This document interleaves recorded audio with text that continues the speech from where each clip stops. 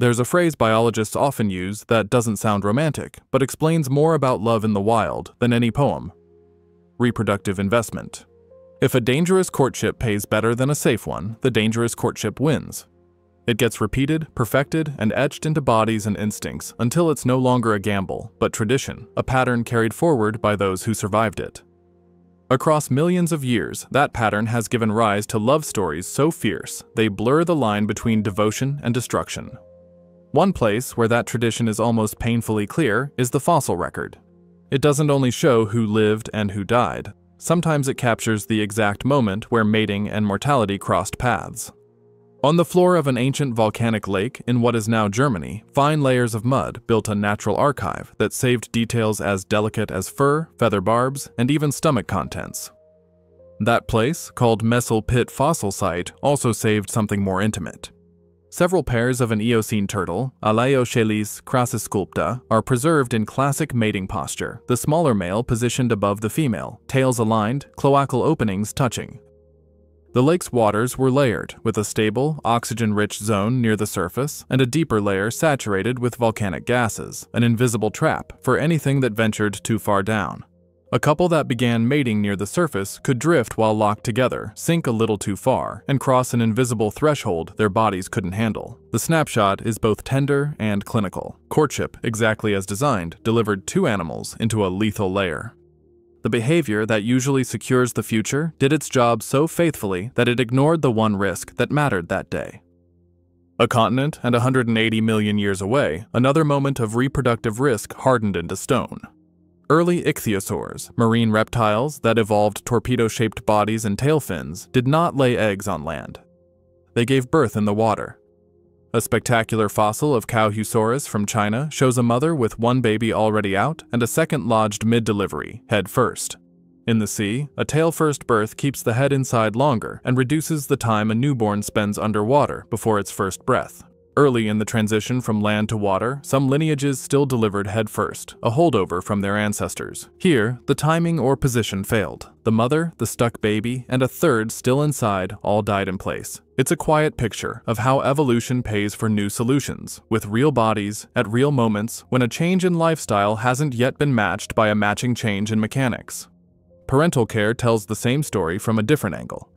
In the Cretaceous deserts of Mongolia, a sleek, beaked theropod, an oviraptorid, crouched over a ring of eggs and never moved again. For years, that animal was cast as a thief. Its nickname literally meant egg snatcher. Then, embryos inside similar nests turned out to be oviraptorids, not someone else's young. The posture, forelimbs splayed, body low over the clutch, matches modern birds brooding a nest. A sandstorm buried the parent in the act of doing the one thing that made sense in that environment, staying on the eggs.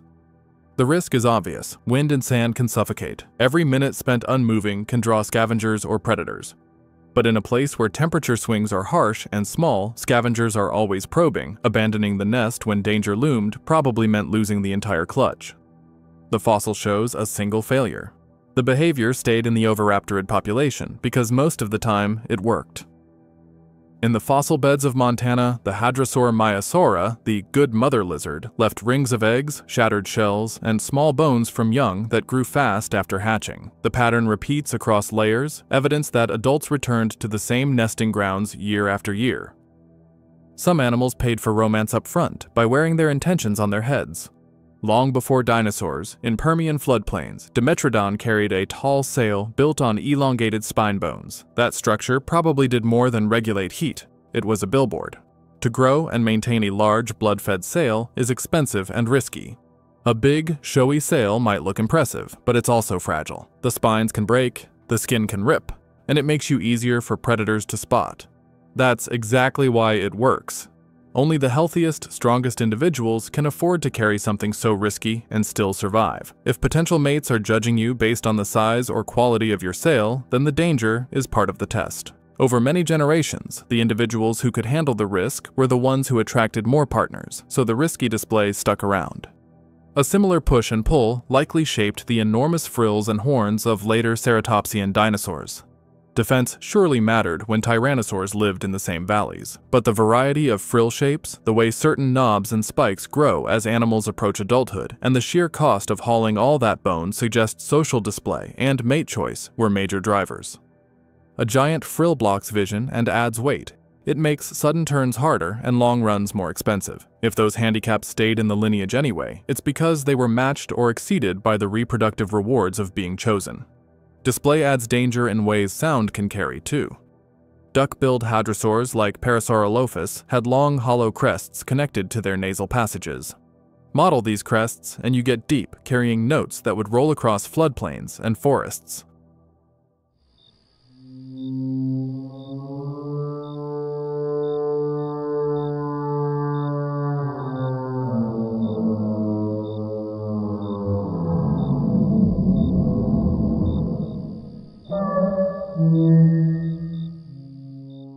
A call like that isn't just an announcement to mates and rivals, it's a beacon for anything that hunts by ear. If Parasaurolophus was the warm-up, here's where the show gets messy. We tend to picture courtship as quiet, some calls, some colors, the end, but sometimes the rock itself records the drama. In western North America, paleontologists have found what are essentially dinosaur dance floors, patches of sandstone gouged and scraped in a way that doesn't match nests or feeding. The size and spacing match large, bird-like theropods. Imagine turkey tracks scaled to the size of a refrigerator. The scrapes are clustered, like the display arenas some modern birds make, where males compete side by side for female attention. These fossils are literally the footprints of prehistoric courtship rituals. And then, sometimes, the fossil doesn't just show the pregame, it catches the act. A piece of Baltic amber from around 45 million years ago preserves a termite king and queen in their first date. In living termites, when a male and female pair up, the female walks ahead and the male follows closely, touching her with his antenna as they search for a place to start a new colony. The fossil pair is frozen mid-stride in exactly that posture. Researchers even compared the fossil to modern termites walking on sticky surfaces to confirm it wasn't random. It's a moment of behavior from deep time, two insects caught right at the start of their empire.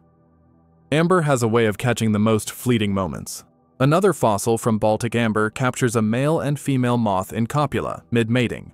Moths are already rare in this amber, finding a locked pair is exceptional. And yet, here they are, wings spread, bodies joined, giving us direct evidence of posture, positioning, and how mating worked for their kind. Sometimes amber even preserves the private details. A 99 million year old harvestman, a relative of today's daddy longlegs, was trapped with his penis fully extended. In modern harvestmen, genital shape is a major clue to species identity. This fossil preserves it in such detail that scientists could see the glands, stylus, and shaft. Its biology, behavior, and anatomy all locked in place for nearly 100 million years.